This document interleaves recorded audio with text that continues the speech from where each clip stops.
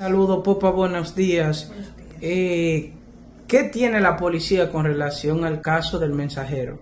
Bien, con relación a este caso, mediante ardua labor de investigación de inteligencia por agentes policiales adscritos a la Dirección Central de DICRIN, específicamente robo de esta ciudad, en coordinación con representantes del Ministerio Público, tan pronto ocurrió el hecho, se le dio seguimiento, apresando de manera oportuna a seis hombres integrantes de una supuesta banda llamada Los Rayos McQueen Gris, quienes están siendo responsables de este asalto al mensajero, quien fue despojado de la suma de 2.861.600 pesos según la denuncia del representante de la entidad donde éste funge como empleado. De acuerdo a la denuncia, este fue interceptado por varios individuos a bordo de un carro Sonata que ya está en poder del Ministerio Público y también de otro carro marca Kia de color blanco también en poder del Ministerio Público. Es importante resaltar que el mensajero eh, se encontraba en las afueras de dicha entidad bancaria. Los detenidos son Joan Javier Santana Pichardo, quien está siendo señalado como el presunto cabecilla de la citada banda, Wellington Saúl de la Rosa, Darío Alexander Arias Jiménez, Josías Miguel Tavares Arias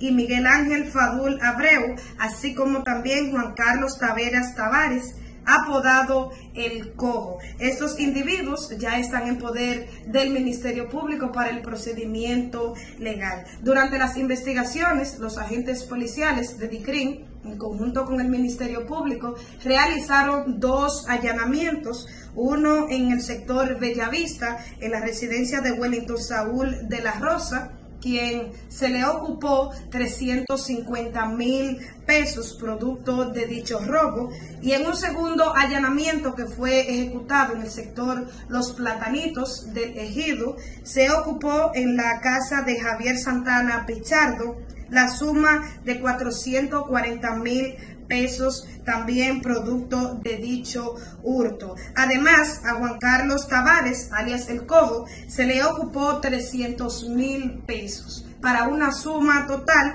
de un millón noventa mil pesos, quienes también están en poder del Ministerio Público para el procedimiento legal. Es importante resaltar que la mañana de hoy se entregó a esta Dirección Regional Cibao Central el nombrado Starling Rodríguez, quien está siendo señalado como uno de los integrantes de dicha banda y que también participó en dicho asalto. Esta banda se dedicaba a realizar asaltos y atracos en esta ciudad de Santiago, en diferentes sectores y municipios